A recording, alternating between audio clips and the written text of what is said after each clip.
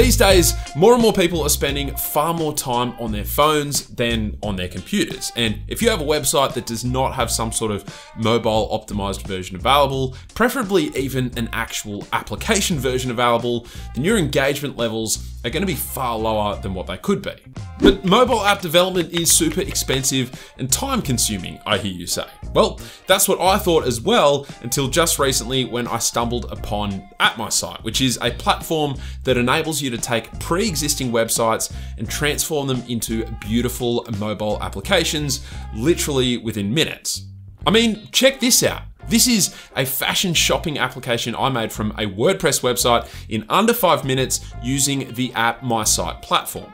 It has all the features you'd want in an application and it looks phenomenal as well. And so for today's video, I'm gonna show you just how easy it was to create this app using the AppMySite platform. Oh, and before we get going, this video is sponsored by AppMySite, so a big thank you to them for supporting the channel. But with that being said, let's dive in. Now, once you're signed up to the AppMySite platform, you'll be able to get started straight away by clicking on this create new app icon. And from there, you'll want to enter the relevant information about the site you're wanting to convert into an application. Now, up until just recently, AppMySite actually only worked with WordPress websites, but they just recently also added support for non-WordPress websites, which is really cool. Just keep in mind, you won't get access to all of the native features that are available to WordPress websites, but I did do a quick test using my own website and the end result was still really solid. But for this video, I'm gonna go ahead and use the URL dailyfashionstore.com, which is a WordPress website. So accordingly, I'll leave this selected as WordPress here, and I'll also check this WooCommerce toggle here, then give my app a name, which will be Daily Fashion. I can then hit build app and then AppMySite will start analyzing the website. And once that is complete, we'll be taken straight to the app's dashboard. And now we get to start customizing the app.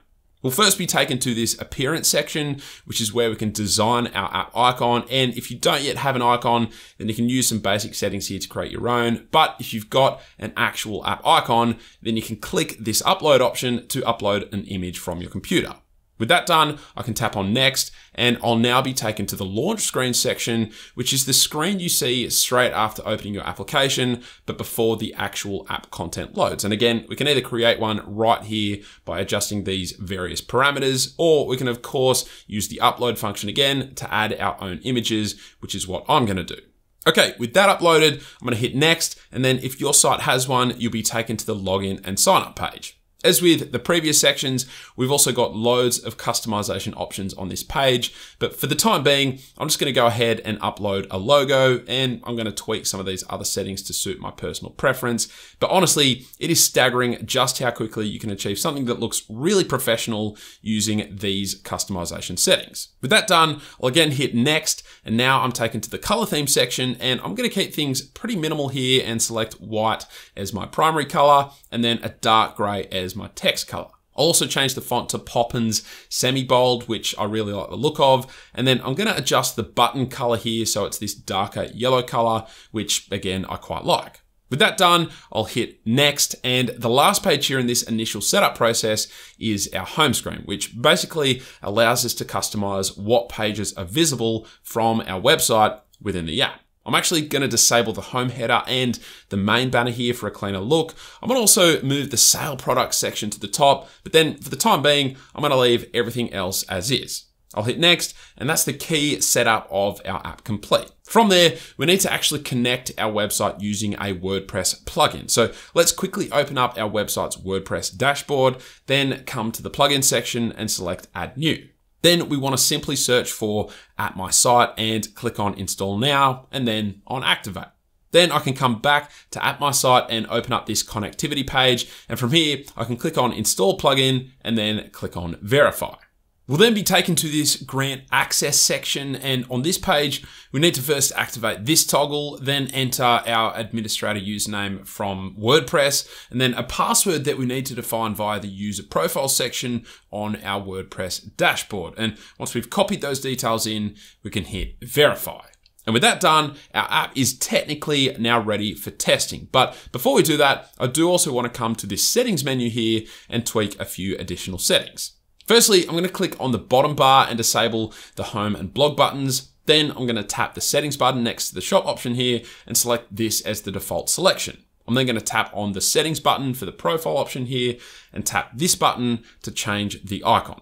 There are a heap of pre-made icons to choose from here, but I'm gonna search for the word edit and then select this icon and then click on add. I'll then drag the profile item so it sits above the menu item. Now I'm going to click on the style option and change the border color to white. I'll also change the item color to a dark gray and then change the selected item color to that same yellow color I used previously. I might even disable this show text option for an even cleaner look, then I'll hit save. Now, as you can see, there are a huge number of additional features that are worth looking into if you are using the AppMySite platform, including adding the option to enable guest browsing, adding monetization options to your app, setting up chat functionality, plus a heap more that I do not have time to cover in this video. So I'm gonna leave everything else as is for the time being and jump forward to the testing and finalizing steps.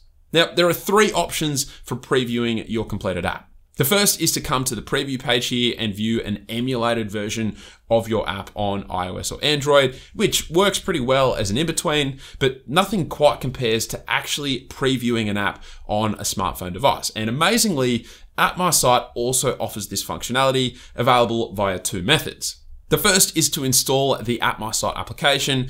And once you're logged in, you'll be able to preview any of your apps straight away. But my preferred option is to build an actual APK version of the app, which we can then download and install on our phones. To do this, we need to come to the download section, and there is an option for both iOS and Android here, but because I'm gonna showcase the app on an Android phone in this video, I'll go ahead and click Build Android App. I'll then hit confirm and I'll leave everything on this page toggled off for the time being, but you may want to look into these depending on your use case, but I'll now go ahead and tap on build app. That'll then initialize my build request, which could take a few minutes to complete. And once it has, it'll then start actually building an APK version of the app. I'm obviously going to speed this process up for the sake of this video, but once it has completed, I'll be able to download an APK version of my app, which I can then transfer over to my phone. And so here's the APK file downloaded and ready to go. And when I first open it, you'll see that I get a prompt saying this app does not have permission to install applications. So I'll just need to go ahead and grant it that necessary permission. But with that done, it'll now install my application. And once it is installed, I can then tap on open and here we go. We are into our application. Now you just saw the launch screen there when I first opened it, and now we've been redirected to our login page. But for the time being, I'm gonna browse the app as a guest, which is an option I enabled under the user settings page. And now we're into the main interface of our app. And as you can see, this looks just like a shopping application should.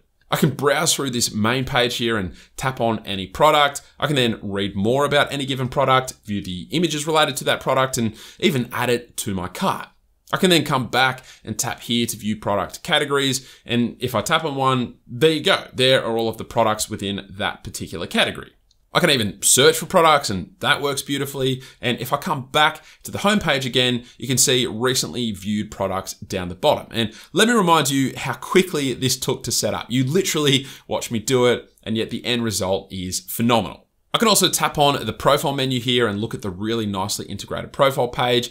I'm obviously browsing as a guest at the moment, but if I do log in, it'll then let me edit my profile information, view past orders, change my password, or even adjust some app settings, which is amazing. And I didn't even have to do any of this. The AppMySite platform just did it all for me. And what's really cool is that if I realize that something isn't quite right about the app, so let's say I want to change this menu icon here, then I could just come back to the AppMySite platform, change it to, let's say, this quill icon, for example. And then once I hit save, I can come back to my phone, quit and reopen the app. And there you go. The icon has been updated automatically without me needing to rebuild and install a new APK. There are some features that do need to have the APK rebuilt, but most of the features related to how the app looks can just be updated without ever having to rebuild the thing. It's awesome. And so there you have it. That is how easy it is to transform a website into a fully functioning mobile application. And I think you'll agree the end result is super impressive. I can see this being an incredible tool for all sorts of businesses, bloggers, or even creators looking to diversify their digital presence. So if you want to try it AppMySite, then you can do so using the first link down in the description below. But that's it. Hopefully you enjoyed the video. Thank you all very much for watching. Thank you to the team at AppMySite for supporting the channel, and I will catch you later.